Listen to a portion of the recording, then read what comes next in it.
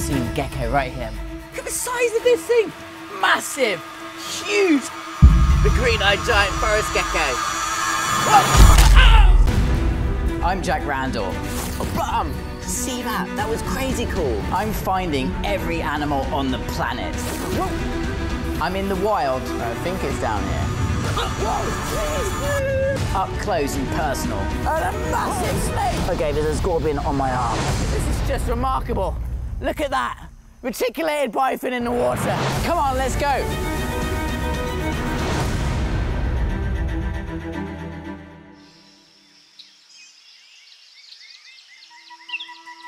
every single place that we come to, get to understand the habitats in the area. Each recce mission, there's a new set of animals. I can't wait to get out and explore and see what we can find. Often the best things come as surprises, and this episode is all about two jewels of rainforest. These vines coming down. It's really strong, amazingly strong. Tarzan style. Whoop.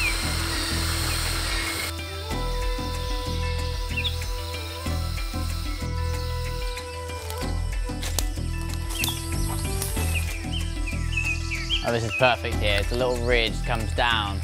There might be some birds coming in and out, and that'd be a perfect place to sit and wait.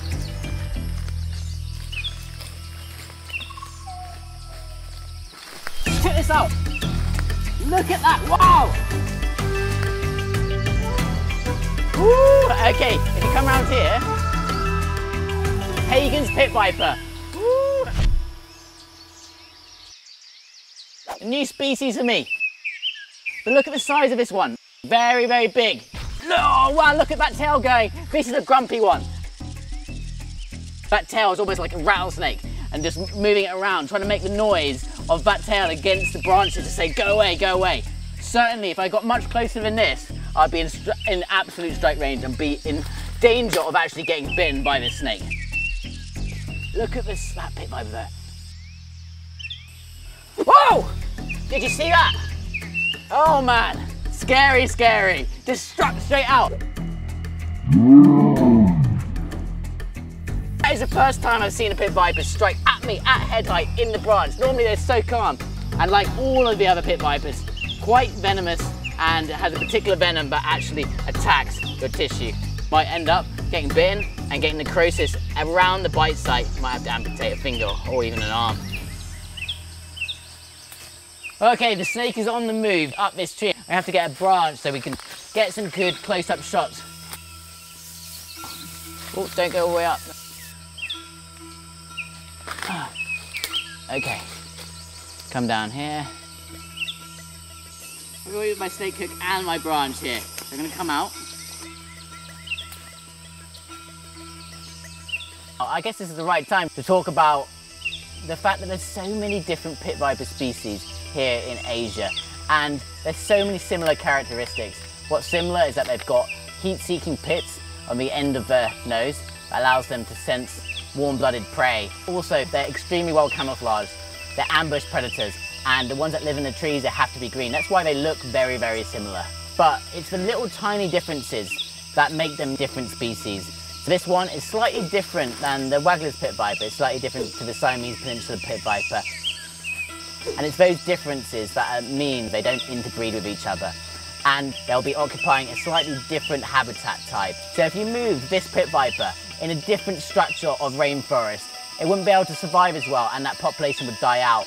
So it's really quite specific where you find different species there's all these different little habitats all around Asia, why we have huge diversity of pit vipers around Asia and actually all around the world. And this is a new one for my list, the Hagen's pit viper. Yes.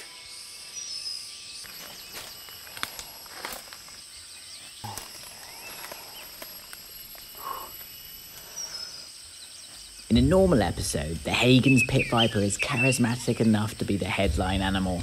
But what comes next I think deserves to take the mantle. It has a crazy cool appearance and a mega feisty attitude.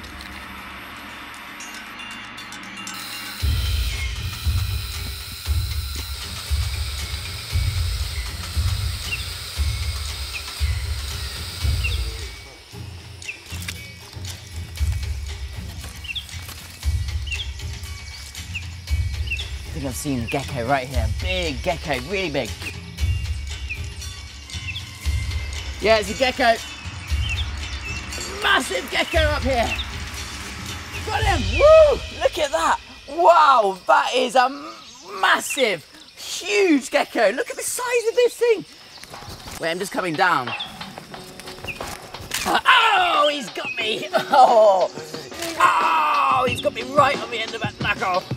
Woo. Okay, not caused any bleeding. It is humongous, really grumpy. And like all geckos, I have to be really careful not to hold it by the tail because they drop their tail to get escape from a predator. But look at those eyes, absolutely remarkable. Green-eyed giant forest gecko.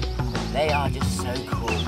It looks prehistoric actually, like a dinosaur. Really amazing. Look at that mouth agape. The remarkable thing about this gecko, really sticky feet. They're called lamellae. It allows them to stick onto the surface. They can almost pretty much cling upside down and be able to stick up like a like Spider-Man, like sticky pads. Look, I'm pulling down and this gecko still is managing to grip on to my thumb really quite amazing adaptation for sticking onto branches. Really amazing. Whoa! Oh, he's got me again, you cheeky monkey. They are really cheeky, these geckos. Another animal has managed to get me whilst I've got it. At this point, I'm letting you go, you can let go. Okay, well anyway, look at the pattern. Got these spots, quite bluish spots and green. Actually, it's quite amazing. Just look about the environment. Always look at an animal and look at their coloration and how they might be adapted to that environment. And this, oh, there they go. It's quite mossy. There's a lot of moss all around the trees here, I've noticed. And if you just look at the surface, it has the coloration of moss, kind of mottled, greeny, browny coloration. Look at the size of this, really is a giant. It's quite amazing. You go around this rainforest, you start to realize there are some animals that have evolved to be giant size. There's the reticulated python, the longest snake in the world. There's the king cobra, the largest venomous snake in the world. And you've got these. Oh! Yeah, really quite strong. You've also got these, the green-eyed giant forest gecko probably one of the biggest geckos in the world. I'm gonna release you back into the wild, mate. It's okay. Off you go. I'm gonna put this one back into the wild. Let go, you can go back home. Okay, you're going back on your log. There you go.